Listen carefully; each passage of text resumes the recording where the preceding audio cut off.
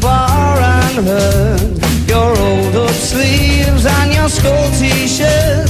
Said, what did you do with him today? Then sniffed me out like I was Tanqueray.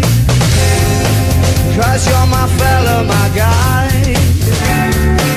Have me your stellar and fly by the time.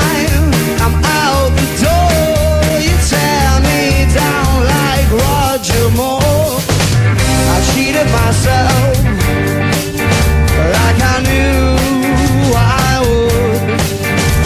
I told you I was trouble. You know that I'm no good.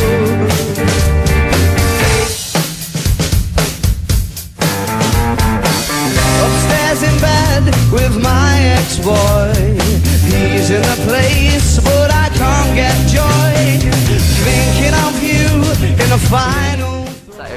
Here rapping 6 feet under Jungle Beats Holler at me and Mighty No Max. So why freestyle is important?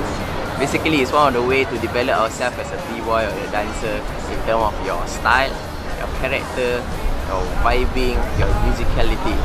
And also like to explore uh, your own body movement through the dance and the music itself.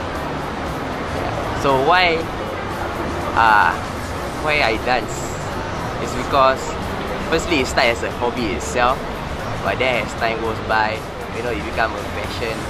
And now it's become because like it's for the culture itself you know? Uh, I take b-boying for the hip hop from hip hop but then it's my time to give back to the hip hop community. So yeah peace